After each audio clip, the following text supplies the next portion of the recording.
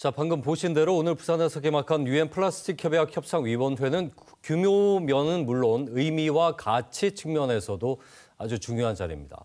취재 기자와 함께 더 자세한 얘기 나눠보겠습니다. 이슬 기자 스튜디오에 나와 있습니다. 예, 어서 오십시오. 자, 플라스틱 사용량이 세계적으로 급증하고 있는 가운데 그동안의 회의에서 결론에 이르지 못했습니다. 일단은 어, 플라스틱 사용 실태부터 좀 짚어볼까요?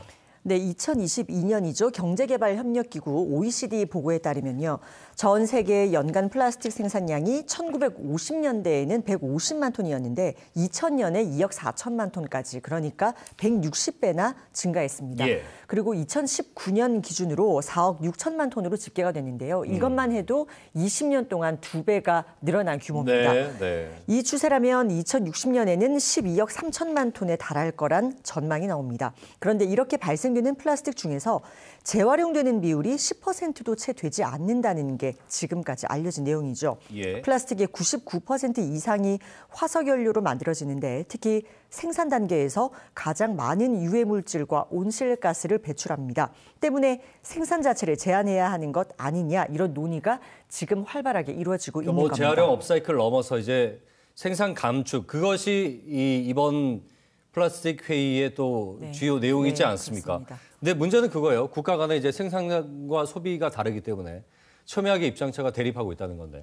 예. 네, 그러니까 협약에 적극 적극적인 나라들이 있고 상대적으로 미온적인 국가가 있습니다. 적극적인 나라는 쉽게 말해서 생산 감축에 이제 지지를 하는 거고요. 예. 반대쪽은 생산보다는 재활용에 우선을 둔다. 여기에 네. 방점을 두고 있다라고 이해를 하면 네. 됩니다. 그래서 유럽 연합을 포함해서 영국과 캐나다, 르완다, 페루 같은 국가가 적극적인 국가로 분류되고요. 러시아와 중국, 인도, 브라질 그리고 산유국들 상대적으로 협약에 소극적인 국가들입니다. 네. 이 나라들은 자발적인 목표를 세워서 오염 부담금을 만들자 이런 수준의 요구를 하고 있습니다. 음. 자, 지금 부산에서 열리는 이제 마지막 협상위원회에서 결과를 도출을 합의를 해야 될 텐데 근데 또 전망이 밝지만 않다고요. 네, 그렇습니다. 방금 말씀드린 대로 이 생산 자체를 하지 말자는 쪽과 재활용을 잘하자 하는 쪽의 입장이 팽팽합니다.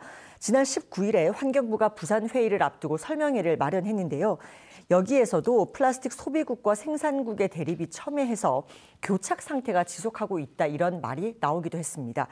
협상위원회 의장은 오늘 개막 직후에 열린 기자회견에서 협상 마지막 날 부산에서 합의가 이루어질 것으로 자신한다 이렇게 말을 하기는 했는데 예. 이게 선언적인 합의 수준일 가능성이 높다라는 관측이 많습니다. 실제로 앞서서도 이 의장이 의견이 엇갈리는 사항은 선언 수준으로 합의하자 이렇게 제안을 하기도 했습니다. 네. 근데 이렇게 되면 기후변화 협약이랑 비슷한 절차를 음. 밟게 되는데 네. 1992년에 기후변화 협약이 맺어지고 교토 의정서가 채택되기까지 5년 또 파리 협정은 2015년에 이루어졌죠. 모두 23년이 걸렸습니다. 예.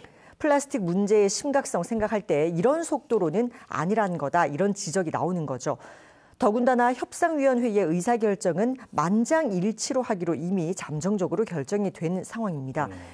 그래서 일부 국가라도 반대를 하면 협약이 이루어질 수 어, 없습니다. 그렇군요. 때문에 이번 협상위원회의 협상 여건이 녹록치 않다라는 좀 냉정한 진단도 나오는 상황입니다. 예. 자, 이제 부산에서 어떤 결과가 나올지 그야말로 이제 단판을 짓게 되는 건데 선언을 넘어서려면 선언적 수준을 넘어서려면 구체적인 실행 방안이 나와야 되는 거죠. 네. 어떤 결론이 나올지 그렇습니다. 지켜봐야겠습니다.